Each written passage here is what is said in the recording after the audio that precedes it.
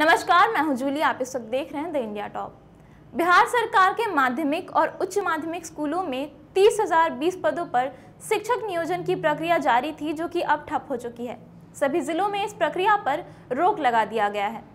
दरअसल 29 जुलाई 2021 को supreme court के निर्देश के बाद शिक्षा विभाग ने पहले से जारी शेड्यूल को खारिज कर दिया था और एक नया शेड्यूल जारी किया था।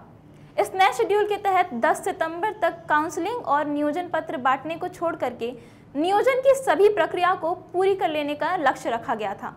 लेकिन अब पंचायत चुनाव की वजह से ये प्रक्रिया ठप हो गई है। करीब करीब सभी जिलों में इस पर रोक लगा दी गई है।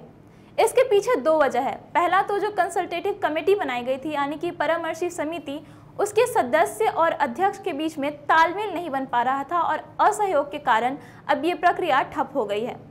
दूसरा वजह यह है कि कितने सारे ऐसे पद हैं जो कि इस वक्त खाली हैं जिसकी वजह से इस प्रक्रिया को आगे नहीं बढ़ाया जा सका। दरअसल छठे चरण के नियोजन के तहत चौरानवे हज़ार प्रारंभिक शिक्षकों की नियुक्ति को लेकर करीब 1100 नियोजन इकाइयों में 12000 रिक्त पदों के लिए विभाग को राज्य निर्वाचन आयोग ने काउंसलिंग की अनुमति नहीं दी है।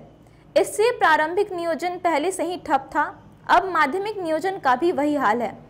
अब 12 दिसंबर को पंचायत चुनाव की प्रक्रिया पूरी होने के बाद ही महीने के तीसरे सप्ताह से नियुक्ति की प्रक्रिया ज़ोर पकड़ पाएगी। आपको बता दें कि शिक्षा विभाग ने इसे लेकर के पहले ही चिंता जताई थी और इसको लेकर के बकायदा एक कमेटी का गठन भी किया गया था।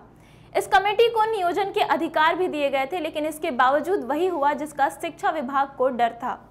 कई डीओ ने नियोजन प्रक्रिया को जारी रखने को लेकर के हाथ खड़े कर दिए। अब इस पूरे मामले की जानकारी शिक्षा विभाग को दे दी गई है और विभाग के आला अधिकारियों का भी यही कहना है कि पंचायत चुनाव के खत्म हो जाने के बाद ही इस प्रक्रिया को फिर से शुरू किया जा सकेगा।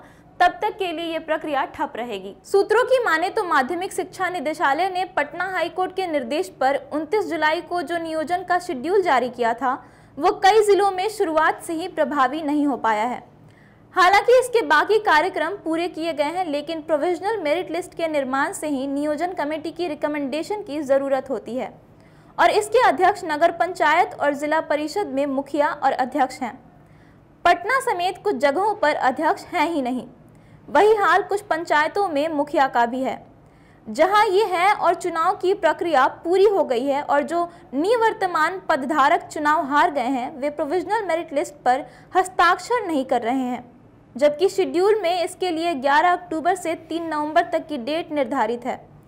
इसके बाद इस सूची पर आपत्ति मांगनी थी, उसमें सुधार किया जाना था। लेकिन अब कमेटी के अध्यक्ष और सदस्यों में असहयोग के कारण इस प्रक्रिया पर रोक लगा दी गई है। ये प्रक्रिया ठप हो गई है और अब पंचायत चुनाव के खत्म हो जाने के बाद ही, यानी कि जब 12 दिसंबर को आखिरी चरण के मतदान हो जाएँगे, उसके बाद ही इस प्रक्रिया को फिर से रिज्यूम किया जाएगा। ये प्रक्रिया फिर से शुरू हो पाएगी।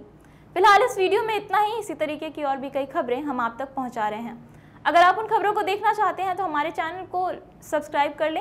अगर ये वीडियो पसंद आया हो तो इसे लाइक और शेयर ज़रूर कर दें। वीडियो फेसबुक पेज पर देख रहे हैं तो पेज को लाइक और फॉलो ज़रूर कर लें। धन्यवाद।